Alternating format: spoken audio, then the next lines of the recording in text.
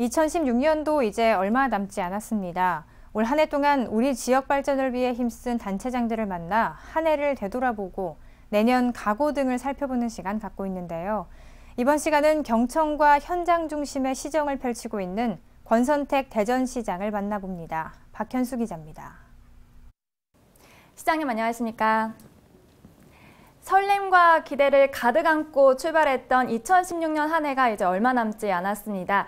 대전시의 올 한 해를 평가해 보자면 어떻습니까? 예, 금년 한 해는 그 어느 해보다도 불확실성, 불안정 기조가 증폭되면서 많은 어려움을 겪었습니다. 그럼에도 불구하고 우리 시정은 안정된 속에서 나름대로 열심히 해서 성과를 거둔 한 해였나 이렇게 평가를 하고요. 어, 특히 역점 시책이라고 할 수 있는 네 가지 시책이 있습니다.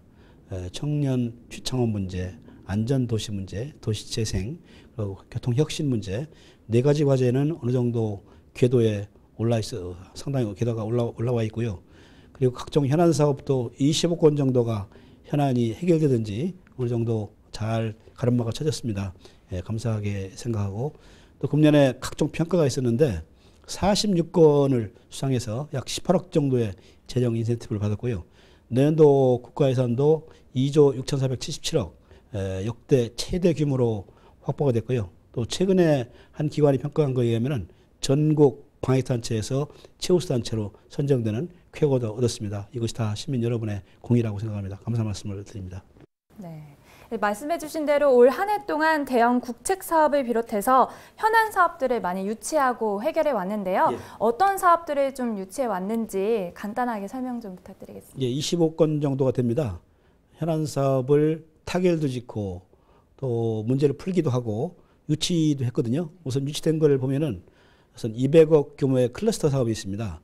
이것은 국방 산업으로서 매우 중요한데 39태 확보를 했고요. 예, 그 다음에 호남선 고속화 사업, 그 다음에 호남선 KTX가 어, 단절됐었습니다. 단절된 거 연결이 돼 있고 또 증해도 시켰습니다. 예, 사이언스 컴플렉스 현지 법인을 만들어서 정상 궤도에 또 올랐고요. 트램도 어느 정도 정상 궤도가 돼서 어, 기본 계획을 만들어서 중앙정부에 협의 중에 있고요. 그 다음에 옛 충남 도청사가 많은 애로움을 겪었는데 국비가 일부가 확보됐습니다. 그래서 앞으로 좀 탄력을 받게 됐다 이렇게 말씀을 드리고요. 어, 시민들에게 나름대로 성과를 보여준 한 해였다고 생각합니다. 네. 올해 시정을 많이 펼쳐 오시면서 가장 역점을 둔 부분이 있다면 어떤 게 있을까요? 도시철도 2호선 트램이라고 생각합니다. 전국에서 우리가 최초로 하는 사업이기 때문에 굉장히 난관이 많았습니다. 또 시민들의 이해도가 많이 떨어지고 해서 애를 먹었습니다.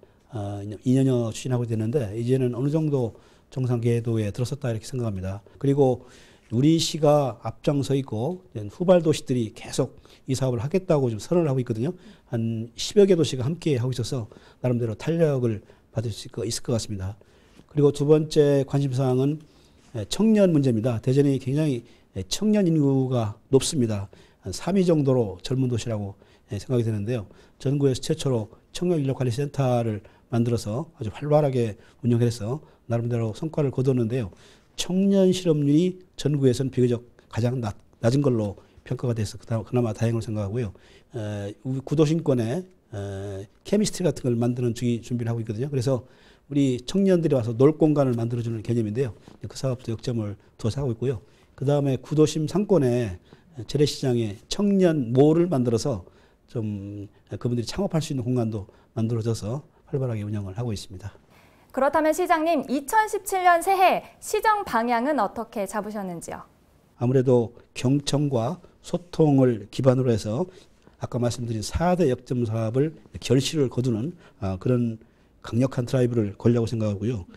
그리고 내년에 대선이 있기 때문에 충청권이 함께 공유하고 추진할 수 있는 공동 프로젝트를 개발해서 충청권의 성, 성장 성장 거점을 만드는 것이 매우 중요하다고 생각해서 그런 작업도 서두르고 있고요. 내년에는 대전의 공동체가 살아있다 이런 느낌이 될수 있도록 강하게 추진할 것이고요. 내년에 시정 구호는 행복 금년회가 키움이었습니다. 내년은 행복 나눔 이렇게 정해서 강하게 추진해 나가도록 하겠습니다. 네.